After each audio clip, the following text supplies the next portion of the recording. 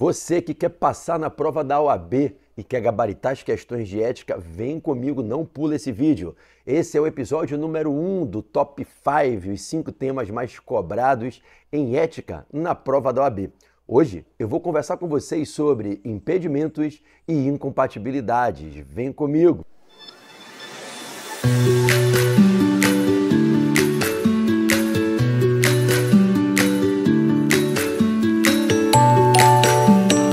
Então vamos nessa, meu povo. Vamos falar sobre esse tema que cai em todas as provas: impedimentos e incompatibilidades com o exercício da advocacia.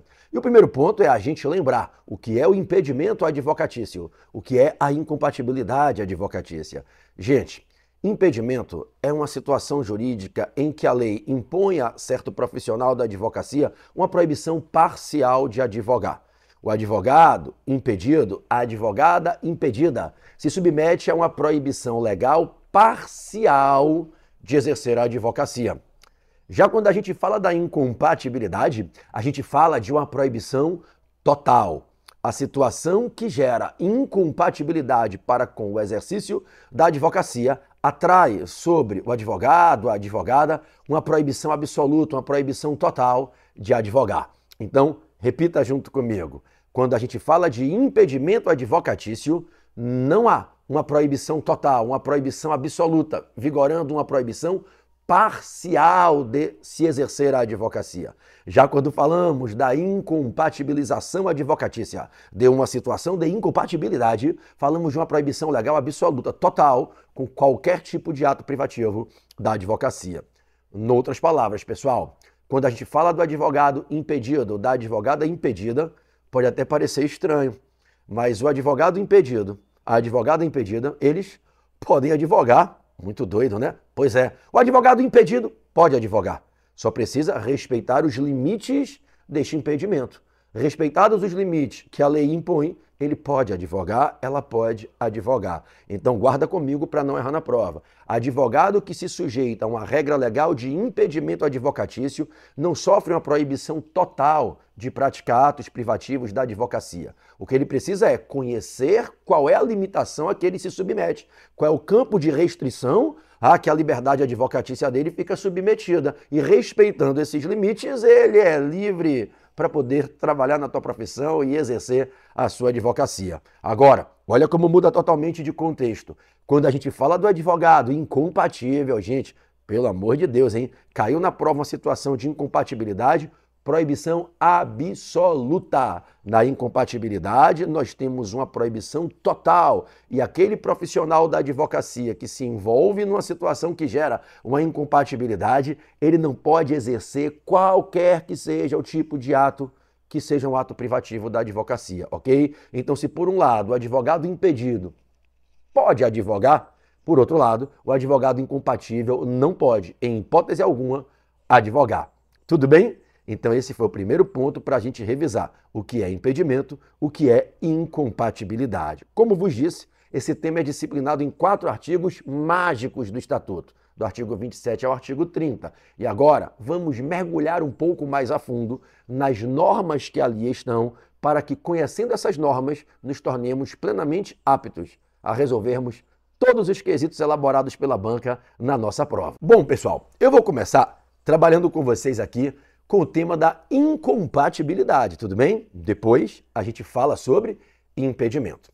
Gente, quando um profissional da advocacia se envolve em uma das situações que a lei declara como de incompatibilidade com a advocacia, ele fica totalmente proibido de advogar, seja em favor de terceiros, potenciais clientes, seja em causa própria. E a regra legal de incompatibilização vigora em todo o país, tudo bem? Então imagina que eu, Pedro Barreto, advogado, inscrito na OAB seccional Rio de Janeiro, me envolva em uma situação de incompatibilidade. Será que eu, estando envolvido em tal situação, posso exercer a advocacia em causa própria ou a incompatibilidade é para que eu advogue em prol de clientes, de terceiros? A incompatibilidade é para qualquer ato privativo da advocacia, gente. Então, se cair na prova, nem mesmo em causa própria, para defender os meus próprios direitos e interesses, eu poderei praticar atos privativos de advocacia. Tudo bem? A incompatibilidade é tanto para a advocacia em prol de terceiros, como em causa própria. Será que poderia eu exercer atos privativos da advocacia lá na minha amada Bahia, no meu amado Nordeste, já que tenho minha inscrição principal na OAB do Rio de Janeiro? Não, pessoal. Estando eu envolvido numa situação de incompatibilidade, eu não posso praticar ato privativo da advocacia em lugar nenhum.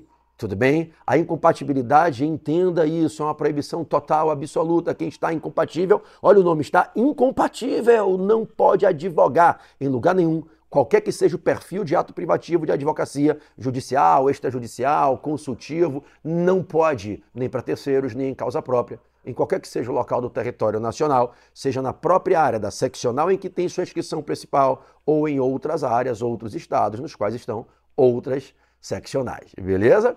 Beleza. E aí vem a pergunta: quais são as situações que geram, a mando da lei, incompatibilidade? Olha, antes de descortiná-las, revisando aqui com você um ponto de observação muito importante, muito importante. Somente a lei pode definir hipóteses de incompatibilidade, tudo bem? Não pode qualquer que seja a autoridade, qualquer que seja o órgão, entidade do poder público, definir situações de incompatibilidade, tudo bem? Somente a lei pode proibir o profissional da advocacia de exercer a sua profissão, entendendo ela, a lei, que naquela situação, de fato, é justificável que não se possa exercer a advocacia. Então, as regras que a gente vai relembrar a partir de agora, listando as hipóteses de incompatibilidade com a advocacia, elas têm que ter expressa previsão legal, pessoal. Se não vier da lei, não pode vir de lugar nenhum. Bem, vamos lá. A lei declara que algumas carreiras públicas tornam inviável o exercício da advocacia para o profissional que opta por se imiscuir nelas. O legislador, na elaboração do nosso estatuto, ele não proíbe que um profissional da advocacia queira abraçar uma nova e distinta carreira. A lei não vai dizer ao profissional da advocacia, olha, você não pode se tornar juiz, promotor, não se pode virar, sendo advogado, um policial, um militar, um fiscal de tributos, um tabelião, dono de cartório. A lei não vai dizer isso para você. A lei não vai excluir do advogado o livre-arbítrio, nem poderia fazer para escolher dar um novo rumo para a vida dele, se envolvendo numa determinada carreira distinta da carreira da advocacia. Mas o que a lei vai dizer é: olha, pensa bem, porque optando por ir para essa carreira, nós entendemos que não tem como você se manter advogando. Então é uma questão de escolha. Você é livre, a OAB, o legislador não vai te proibir de fazer a tua opção. Mas entenda que você não pode, ao mesmo tempo, ser advogado e magistrado, advogado e promotor de justiça, advogado e fiscal de tributos, advogado e tabelião no cartório, advogado e auditor de julgamento no Tribunal de Contas. Você me desculpa, mas não tem como você ser advogado e ministro do TCU. Você não pode ser advogado e prefeito, governador, presidente da República. Isso é incompatível. Você não pode querer estar advogando, cuidando do escritório, dos clientes, dos prazos, dos processos, das pesquisas e também está dirigindo a mesa, está na mesa diretora, dirigindo a casa legislativa no seu município, no seu estado ou no âmbito do Congresso Nacional. É incompatível, é inviável. Não que a gente não acredite no seu grande potencial, na sua habilidade para fazer muitas coisas ao mesmo tempo, mas é que a coerência e o bom senso nos impõem a nós, legisladores, que tenhamos o zelo de proteger a advocacia, dizendo é perigoso, é um risco que não se deve correr. Se o advogado quer se envolver numa outra carreira que exige, por que não dizer, dedicação exclusiva ou algo parecido com isso, que ele vá, que ele seja feliz, mas que ele entenda que enquanto o Lairi estiver, ele não poderá advogar, porque não dá para bater o escanteio, correr para a área para cruzar, recebendo o cruzamento e cabecear a própria bola, ainda voltar para ser goleiro no contra-ataque do time adversário. Então, por mais dotado que possa ser esse ser humano, a lei não vai reconhecer que ele vai conseguir com eficiência exercer duas carreiras que exigem extrema dedicação, imensa responsabilidade e que eventualmente oferecerá interesses conflitantes. Não dá para você ser o advogado que atua na causa na qual o Ministério Público eventualmente vai ter que se defender ou se posicionar defendendo o interesse contrário à pretensão do cliente que esse advogado representa, e ele também sendo membro do Ministério Público, um representante do parquê. Como é que ele é advogado e juiz julgando a causa? Não tem como. Então, para não perder tempo avançando numa reflexão que aqui não exige necessidade, é entender que não se pode praticar ato de advocacia, se manter advogando quando se envolve em carreiras que exigem alto grau de dedicação, de responsabilidade, que eventualmente podem ter interesses conflitantes com aqueles que serão veiculados na atuação do advogado. E a lei diz nessas carreiras fica incompatível a advocacia. E anote aí no seu apontamento: carreiras do judiciário, carreiras do Ministério Público, carreiras de ministro ou auditor de contas, de julgamento, os membros, no sentido estrito, atribuído pela Constituição, os membros dos tribunais e conselho de contas, né, os auditores de julgamento, não é o auditor de controle externo, o auditor de julgamento, que compõe a corte, o plenário para julgar os feitos, né, o ministro auditor, o auditor titular, o substituto, dos tribunais e conselhos de contas, membros do Ministério Público, membros da magistratura e das carreiras do Poder Judiciário, membros de carreiras policiais, membros de carreiras militares enquanto estão na ativa, membros de carreiras fiscais, de fiscalização, lançamento, controle de tributos, membros de carreiras cartorárias, do tabelionato, não podem, gente, exercer a atividade da advocacia. Mas não é porque eu entendo que é irrazoável, é porque a lei proibiu. Eu falei mais cedo aqui para você, ou vem da lei ou não vem de vontade de ninguém, ou é da vontade do legislador, não se incompatibiliza. Então, o legislador e aí você vai passar o seu olhar nos artigos 28, 29 da nossa lei, do nosso estatuto, e você vai perceber que o legislador vai dizer: o advogado que vier a se envolver nessas carreiras públicas do judiciário, do Ministério Público, se tornar membro de conselhos ou tribunais de contas, que se envolver nas carreiras policiais, nas carreiras militares, estando ali como militar da ativa, nas carreiras fiscais, nas, carteiras, nas carreiras cartorárias, ele não pode, evidentemente, exercer a advocacia. E qual é o ponto interessante?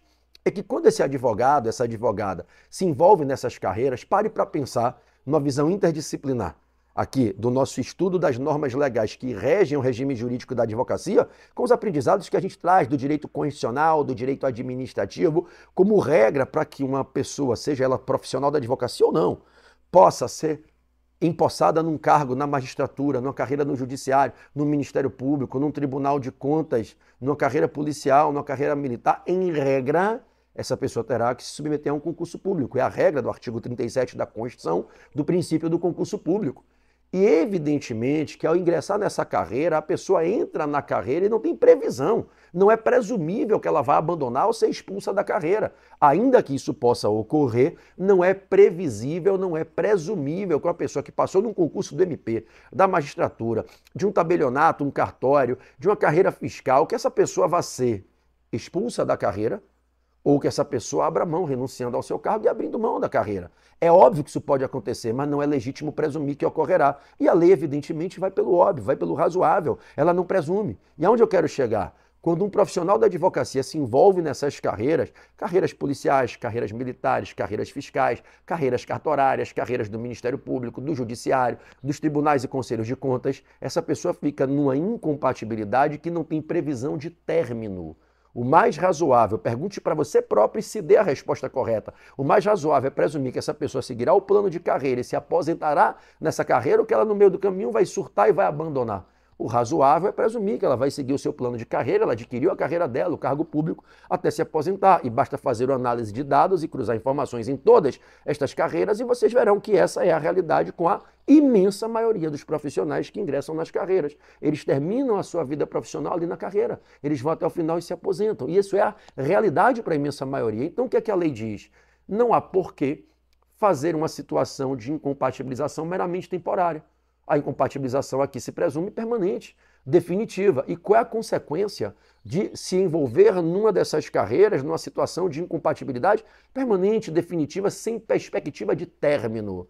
É que você tem que fazer o cancelamento da inscrição. Não tem por que fazer um mero licenciamento. Você imporá, a lei imporá que se faça um cancelamento da inscrição do advogado. Tudo bem? E ele fica com a sua inscrição cancelada, ele deixa de ser advogado, deixa de se vincular ao quadro de profissionais da advocacia, quebra o seu vínculo institucional com a profissão e com a ordem dos advogados do Brasil, deixa de poder avocar e exercer garantias e prerrogativas de advogados e advogadas, porque ele deixa de ser advogado, ela, a moça, deixa de ser advogada. Tudo bem? Então ingressou numa dessas carreiras para ali ficar de forma definitiva, carreiras fiscais, policiais, militares da ativa, do Ministério Ministério Público, do Poder Judiciário, dos tribunais e conselhos de contas, não tem para onde correr. Cancela a inscrição. Beleza? Uma observação importante: cuidado com a figura dos magistrados, dos juízes. Os juízes atuam em um dos principais, se não o principal cargo, não é? dentro das carreiras do Poder Judiciário. Existem outras carreiras que não apenas a da magistratura. Nós temos oficiais, analistas, técnicos que ocupam diferentes carreiras dentro do Poder Judiciário. Não há dúvida que a carreira de, pelo menos de maior destaque, é a da magistratura, a dos juízes. Cuidado com a questão que envolve a atuação de advogados que temporariamente atuam como juízes de tribunais eleitorais, nos TREs ou no TSE. A gente sabe que na composição do TSE, por expressa imposição constitucional, dois advogados ali atuam para compor o conjunto de ministros do TSE. Também temos dois advogados que atuam transitoriamente durante aquele mandato, que em regra é de dois anos, como juízes de TREs, os TREs, um em cada estado, o TSE com jurisdição eleitoral nacional. Você terá sempre dois advogados atuando, se investindo temporariamente na função de exercer a jurisdição eleitoral. É uma questão pacificada hoje, tá? Que a gente tem que fazer uma interpretação flexível do artigo 28 quando fala que carreiras do judiciário, juízes, eles ficam incompatíveis com a advocacia. A gente vai flexibilizar isso aqui para entender que o advogado, enquanto ele atua naqueles dois anos como juiz eleitoral, ele não vira um juiz, ele não vira um judiciário, ele não, um membro do judiciário. Ele está ali servindo, ajudando por uma imposição constitucional que tem dois advogados ali, mas ele não vira magistrado, então ele pode advogar. Agora ele vai sofrer uma limitação especial que foi muito bem delimitada recentemente pelo CNJ, após prévia manifestação do STF lá atrás, desde o julgamento da ADI 1127. E aí, recentemente, o CNJ fez um ajuste e disse o seguinte: olha, o advogado ou a advogada que passa a compor uma corte, um TRE, uma corte eleitoral, um TRE, ou que atua no TSE, durante aquele período que ele fica dois anos, admitida a recondução por igual período uma única vez, ele pode advogar, ele pode advogar em causas cíveis, criminais, mas enquanto ele estiver ali como juiz eleitoral, ele não pode advogar nos tribunais eleitorais, na justiça eleitoral, porque ficaria ficaria feio no mínimo, né? Ficaria estranho ele ser advogado, especialista em direito eleitoral, está advogando nas eleições, está advogando no âmbito da atuação da jurisdição eleitoral, sendo um julgador no processo eleitoral compondo uma corte. Então ele vai sofrer uma limitação de não poder advogar no âmbito da justiça eleitoral. E olha bem, enquanto ele estiver atuando como juiz eleitoral, magistrado eleitoral, ele não pode desenvolver atividade político-partidária, tudo bem? Não pode prestar consultoria, assessoria, desenvolver atividade advocatícia de natureza político-partidária, também fica né, vedado. E quando ele sair desse tribunal, ele se submete a uma quarentena de três anos nesse tribunal. Então, em relação ao TRE que ele atuou, se foi no âmbito do TSE, está em âmbito nacional. Mas se ele estava no TRE do Rio de Janeiro, quando ele sair do TRE, deixar de ser, ju, de, de ser juiz do TRE, ele por três anos se submete a uma quarentena, não podendo atuar na jurisdição eleitoral atrelada ao TRE do Rio de Janeiro, não de outros estados. Beleza? Beleza. Um outro ponto, fica atento com a questão da incompatibilidade dos membros de tribunais e conselhos de contas, do TCE, do TCM, de um conselho de contas que ainda sobreviveu após a Constituição de 88, do TCU, né? Por quê? Preste atenção.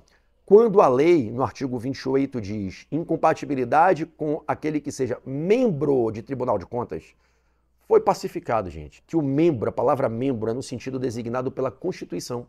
E a Constituição, quando fala de membros dos tribunais, não está falando de qualquer dos cargos dentro do tribunal. É aqueles que compõem a corte, que exercem a função principal ali, a função de julgamento. Então nós estamos falando de ministros do TCU, de auditores de TCE, de tribunais municipais, tudo bem?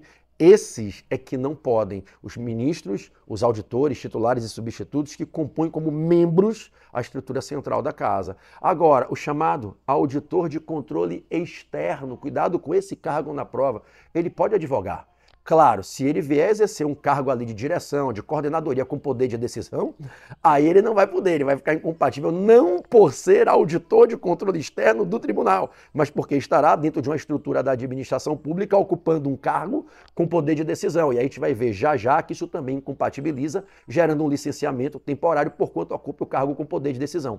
Mas o mero fato de ser auditor de controle externo não é suficiente para incompatibilizar, ainda que ele atue num determinado cargo num tribunal de contas. Mas ele não é o que o constituinte, no sentido estrito da palavra, chama de membro do Tribunal de Contas. Então, esse auditor de controle externo, ele não fica submetido a qualquer incompatibilidade. Tudo bem? Tudo jóia.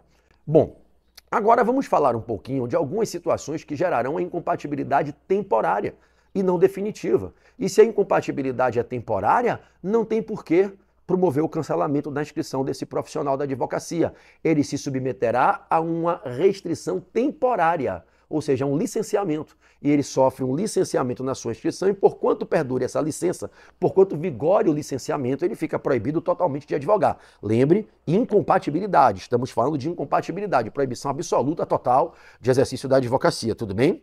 Vamos lá, se liga junto comigo profissional da advocacia quis ingressar na política e quis vencer, disputar, e terminou disputando e vencendo uma eleição para prefeito, prefeita ou vice, governador, governador ou vice, na sua cidade, no seu estado, presidente vice da República, no nosso país. Não pode, enquanto é chefe ou subchefe do Poder Executivo, advogar.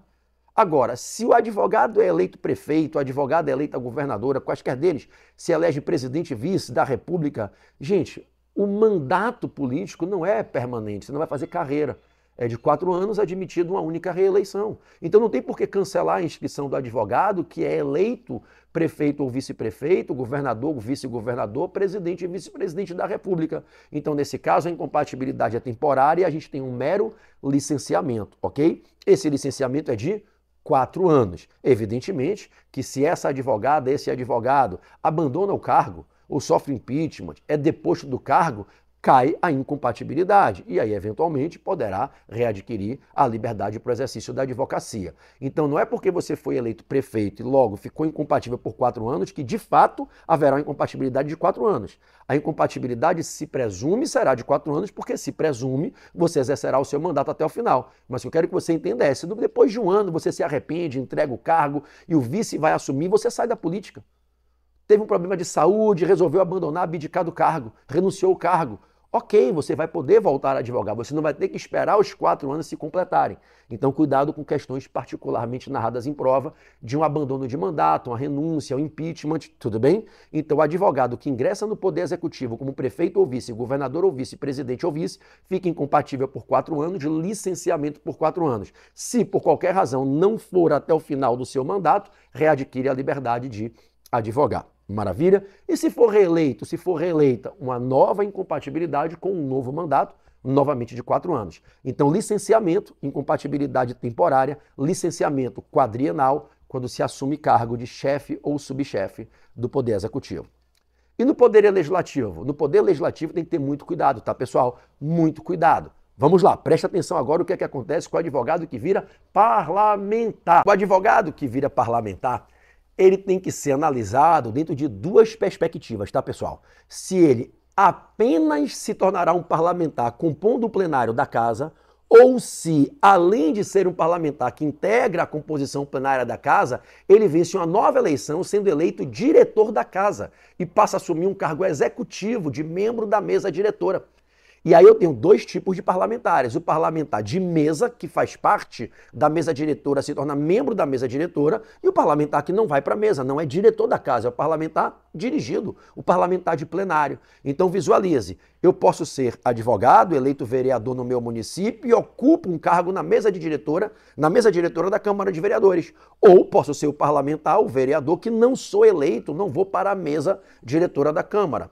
Se eu estou na mesa diretora e por ali fico por dois anos, porque o mandato para esse cargo executivo de membro da mesa diretora, de diretor do parlamento, é de dois anos. Porquanto perdura o meu mandato durante esses dois anos, eu tenho que me licenciar e eu fico incompatível com a advocacia, incompatibilidade temporária, licenciamento de dois anos, ok? Então, imputar-se-á ao advogado, à advogada, que é eleito vereador, deputado estadual, deputado federal ou senador, e que é também eleito membro da mesa diretora, um licenciamento de dois anos, incompatibilidade temporária, gerando licenciamento bienal. E o parlamentar que não foi para a mesa, o que está apenas no plenário da casa, não tem a função executiva de dirigir a casa. Gente, esse parlamentar pode advogar. ele não fica incompatível. A função parlamentar não incompatibiliza. O que incompatibiliza dentro do parlamento é a função executiva de diretor da casa, membro da mesa diretora. O parlamentar de plenário, o vereador, deputado, senador, que não vai para a mesa diretora, pode advogar, mas ele sofre uma restrição especial à sua liberdade advocatícia. Depois você dá uma olhadinha no artigo 30 do Estatuto, tá? Lá no artigo 30 você verá essa, essa, essa especialidade, essa norma restritiva especial que se aplica aos parlamentares por quanto atuam no parlamento, exercendo seu mandato sem serem membros da mesa diretora. O que, que acontece com eles? Eles podem advogar, mas não podem advogar contra ou a favor do poder público. Eles não podem advogar nem contra nem a favor dos entes federativos, das entidades da administração pública indireta, autarquias, fundações públicas, empresas públicas, sociedade de economia mista, nem mesmo para empresas controladas pelo poder público, concessionárias e permissionárias de serviço público, tudo bem? Então, o advogado que vira vereador, deputado e senador, eu tenho que ter cuidado na prova. A pergunta é: ele foi para a mesa diretora ou não? Foi incompatível licenciamento por dois anos, por quanto fica na mesa diretora. Não foi, ou dela saiu, voltando para o plenário, não mais sendo membro da mesa, pode advogar menos contra ou a favor do poder público e das pessoas vinculadas ao poder público, as entidades da administração indireta, empresas controladas, concessionárias e permissionárias de serviço público. Beleza? Beleza. Continue junto comigo. Um advogado que assume um cargo de direção com poder de decisão de uma instituição financeira, pública ou privada, se ele está gerenciando e tem o poder de comando, o poder decisório, tem a responsabilidade pela condução da instituição financeira, ele fica temporariamente incompatível com a advocacia. Porquanto atue no cargo de diretor com poder de decisão da instituição financeira pública ou privada, ele é incompatível com a advocacia. Então, toda e qualquer instituição financeira que venha a ser citada numa questão de prova, se tiver um advogado sendo diretor, gestor com poder de decisão, ele, por quanto atue nesse cargo com tal função, com tal atribuição, ele fica incompatível com a advocacia, tudo bem? E não é só banco. Banco é uma das espécies de instituições que atuam no mercado financeiro. Eu falo do banco, eu falo da CVM, Comissão de Valores e Títulos Mobiliários, né? eu falo de uma agência de, faturiza de faturização, de factoring, tá? de seguros, seguradoras são entidades financeiras. Tá? Então, o legislador não explicita qual é o tipo de instituição financeira, ele apenas diz, virou gerente com poder de decisão, diretor com poder de mando em instituições financeiras públicas ou privadas, se cai na prova, fica incompatível com a advocacia e, enquanto atuar ali, sofre o licenciamento na sua inscrição. Agora vamos cuidar das situações dos advogados que ingressam em cargos da administração pública direta ou indireta. Na administração pública direta, passando a ocupar um cargo dentro de um órgão da administração direta, ou um cargo dentro de uma entidade autárquica, fundacional da administração indireta. Gente, hei de me perguntar. Esse advogado que via de regra, via de regra, passou no concurso público e então ganhou lá o direito de atuar naquele cargo, tomou posse, se investiu, ganhou a investidura para o cargo e vai atuar ali exercendo a função dele. Ele está em um determinado órgão da administração direta, numa determinada autarquia, fundação pública, vem a pergunta. A carreira na qual ele ingressou ali dentro da administração pública é militar? É policial? É fiscal? É cartorária, é judiciária, é do MP, é do Tribunal de Contas, é de Conselho de Contas. Não! Então você nem se preocupe em falar de incompatibilidade, tudo bem? Não vai incompatibilizar ele, porque ele não está nas carreiras que o artigo 28 declara como carreiras de incompatibilização. Então você já esquece incompatibilidade. E aí você vai trazer esse advogado, essa advogada para análise dos impedimentos. Você vai dizer, opa, esse advogado, essa advogada, ingressou lá numa carreira né, ligada à saúde pública, ao meio ambiente. Então ele ingressa numa carreira da saúde, vai atuar num órgão, exercendo lá um determinado cargo, no órgão lá da Secretaria de Saúde, na Secretaria de Saúde, na Secretaria do Meio Ambiente, na Secretaria de Transporte, na Secretaria de Educação, na Secretaria de Desenvolvimento Urbanístico, ou seja, ele vai atuar numa área da administração, direta ou indireta, que não envolve uma das carreiras que incompatibilizam. Então, em tese, ele não ficará incompatível. O que é que acontece com esse advogado? exercendo o seu cargo, atuando no seu cargo, exercendo as suas funções ali, numa carreira que não é de incompatibilização, ele pode continuar advogando. Só que ele sofre uma restrição, uma proibição parcial, um impedimento. Ele não pode advogar contra a fazenda que o remunera contra quem paga o salário dele. Imagina um advogado que passou num concurso público e vai atuar em um determinado cargo da Secretaria de Educação do município, da Secretaria Fazendária do município, poxa, da Secretaria de Saúde do município ele vai poder advogar se a carreira que ele ingressou não é uma que incompatibiliza, mas ele não pode advogar contra o próprio município que paga as contas dele, que paga o subsídio, paga o salário dele. Então, esse profissional da advocacia que ingressa em um cargo da administração pública, direta ou indireta, e que não é em carreira que incompatibiliza, ele pode advogar, mas ele sofre um impedimento, que é esse impedimento genérico que a gente tem para todo e qualquer advogado que vira servidor, empregado público num cargo de uma carreira que não incompatibiliza que é esse impedimento genérico que diz, no teu caso, você pode advogar livremente menos contra a fazenda pública que te remunera, contra quem paga as tuas contas. Então, se eu virei servidor público do Estado do Rio de Janeiro, porque passei num concurso e passo a ocupar um determinado cargo dentro de uma estrutura da administração direta ou indireta do Estado do Rio de Janeiro, e nessa carreira não há previsão de incompatibilização, eu posso advogar menos contra o Estado do Rio de Janeiro, que é a fazenda que me remunera. Atenção, se eu virei servidor público estadual numa carreira que não me incompatibiliza, eu posso advogar livremente contra ou a favor de quem eu quiser, menos contra o estado do Rio de Janeiro. Eu posso advogar contra os municípios do Rio de Janeiro? Posso, porque os municípios não pagam minha conta. Eu não sou servidor municipal, eu me tornei servidor estadual. Então o impedimento traz uma proibição parcial. E com essa proibição de que eu advogue contra ou a favor, a fazenda que me remunera contra quem paga minha conta. Tudo bem? Tudo bem. Agora preste atenção em algumas pegadinhas para a gente ir para o fechamento aqui cuidado com o seguinte: se apesar de estarmos a falar de uma carreira que não incompatibiliza, o advogado que está ali naquela carreira começa a se destacar, crescer, ascender na carreira e ocupa um cargo de direção com poder de decisão. Imagina um advogado que ingressou ali num cargo bem inferior, bem subalterno na saúde pública do Estado. Estava ali como técnico de saúde, foi se destacando, tinha previsão na lei que organiza a carreira de ser promovido, e aí virou diretor adjunto, coordenador de setor, diretor adjunto do diretor, e de repente foi, depois de certos anos, nomeado diretor-geral, virou um secretário de saúde, um secretário de educação, virou um diretor-geral da autarquia, virou um diretor-geral com poder de decisão.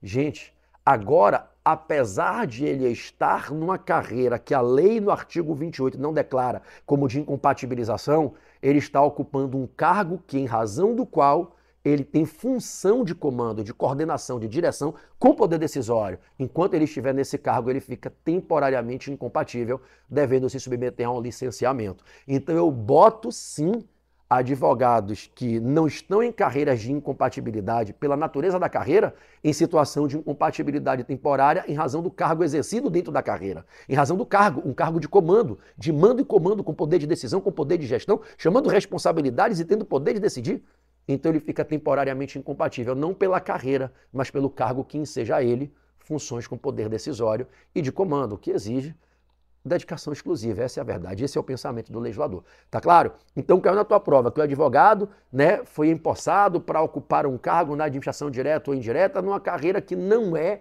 carreira que o artigo 28 incompatibiliza. Não é MP, magistratura, tribunais e conselho de contas, carreiras policiais, carreiras militares, carreiras fiscais, carreiras cartorárias, não é nada disso. Aí você diz, em tese não fica incompatível. Vai poder advogar sofrendo impedimento de advogar contra a fazenda que o remunera. Mas caso se torne diretor com poder de decisão naquele órgão, naquela entidade autárquica, fundacional, aí ele fica licenciado por quanto atue no cargo que confere a ele o poder de decisão ok? De gestor, de comandante, coordenador, diretor com poder de decisão, beleza?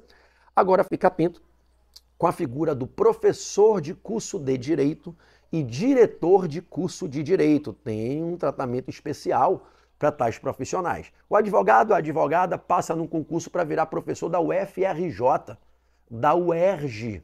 Será que ele vai ficar impossibilitado de advogar contra a União porque se tornou professor de direito da UFRJ? Será que ele vai ficar impossibilitado de advogar contra o Estado do Rio de Janeiro porque virou professor do curso de Direito da UERJ? Não.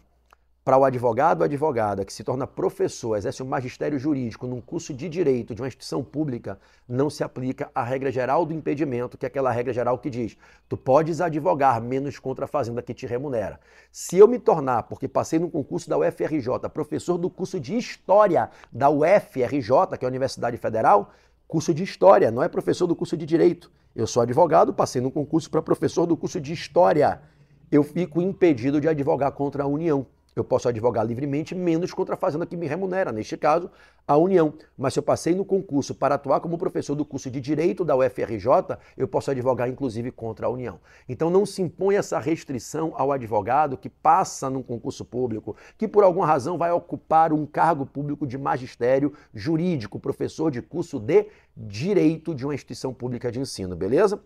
Em relação ao diretor do curso de Direito da Universidade Estadual do Estado X, da Universidade Federal Alfa, ele não sofre qualquer incompatibilidade ou impedimento, tá, pessoal? Do contrário, que advogado aceitaria um convite para dirigir um curso de direito de uma instituição pública? Nenhum vai ter que fechar o escritório dele temporariamente ou se afastar da advocacia no escritório, então nenhum advogado aceitaria esse convite. Então, os advogados que se tornam diretores, coordenadores de cursos de direito em instituições públicas, eles não ficam licenciados temporariamente, não se submetem àquela incompatibilização temporária pelo fato de estarem ocupando um cargo com poder de decisão tá? que confere a eles funções de poder de decisão e nem se submetem ao impedimento de não poder advogar contra a fazenda que o remunera. Advogados e advogadas que se tornam diretores, coordenadores de cursos de bacharelado jurídico em instituições públicas de ensino podem advogar livremente, não se submetendo a qualquer impedimento ou incompatibilidade.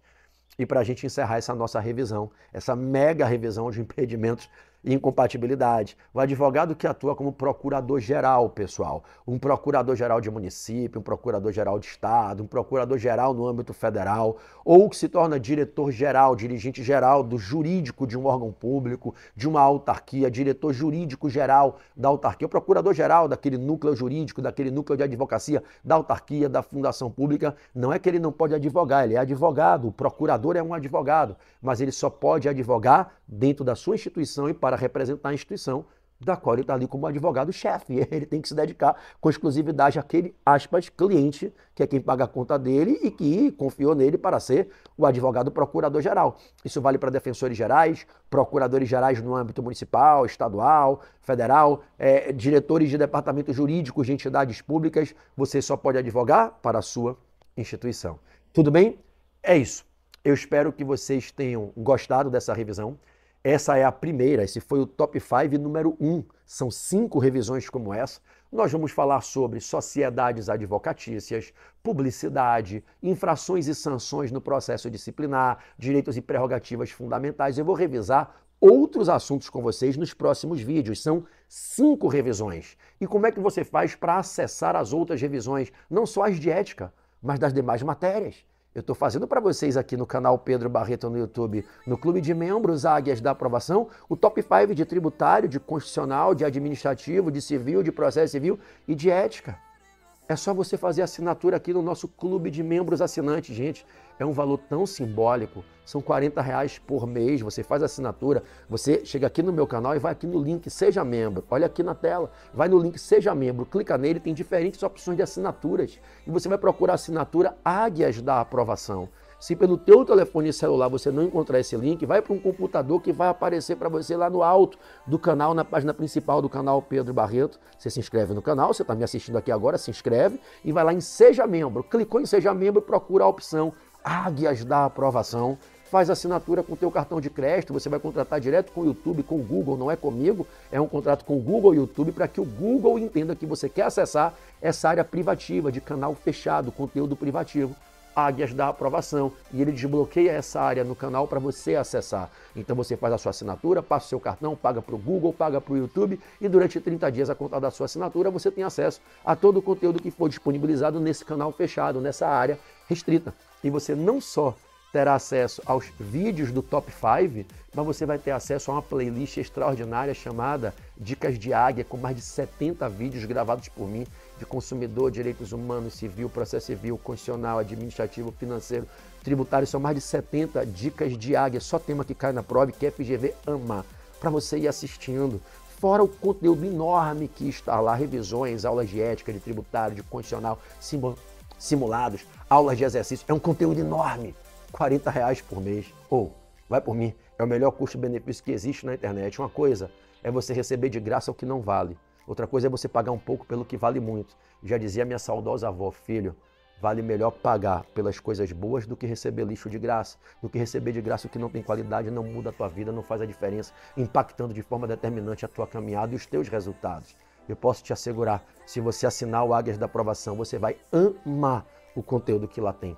Olha, quantas milhares de pessoas nesses últimos anos não já foram ajudadas de forma decisiva, conquistando a carteira vermelha e a aprovação, estudando comigo no Águias da Aprovação. Será uma honra para mim ter você, tudo bem? Então vai lá, faz a sua assinatura e vem assistir os demais vídeos do Top 5. Esse vídeo está colocado de forma aberta, gratuita, pública aqui no canal. Se você quiser, pode compartilhar com a tua galera que precisa passar no AB. Compartilhe com quem você ama, com quem você gosta e quer que passe na prova. Clica aqui nessa setinha abaixo do vídeo. Tem uma setinha, parece uma minhoquinha. Clica nela, pega o link joga nos grupos de WhatsApp. Galera, olha que vídeo legal, que revisão maneira do professor Pedro Barreto, lá do Portal F3 do Rio de Janeiro, sobre impedimentos e incompatibilidades. Vai, compartilha, já aproveita, clica no sininho, ativa ele. É o sininho que vai permitir que você receba a notificação sempre que eu postar um conteúdo novo. Deixa um like nesse vídeo, se inscreve no canal e faz a tua assinatura. No mais, espero receber um dia uma notícia sua de que você foi aprovado, de ver dessa alegria comigo. Eu não tenho dúvida que Papai do Céu prepara a tua vitória e se você entender isso e fizer a sua parte, você chega lá. Tá bom? Um beijo no teu coração e até a próxima.